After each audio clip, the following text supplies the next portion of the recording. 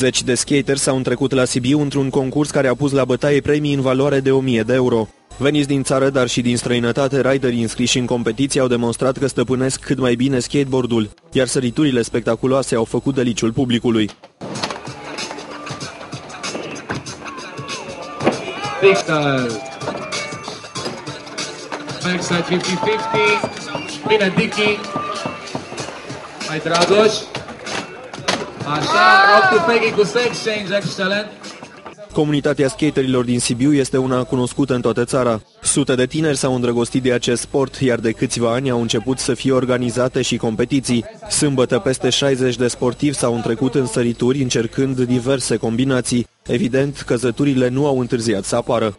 Acolo, acolo trebuie să lucrați la noul element, extensia acolo de codul.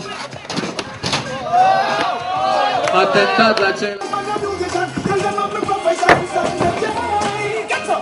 Am venit aici pentru un concurs din București, am fost de multe ori în Sibiu, nu știu, e foarte frumos aici, acum au renovat parcul ăsta, complet alte rampe, alt tot. Sunt uh, rider, mă dau de foarte mult timp și am onoarea să particip alături de ei și asta e important pentru mine.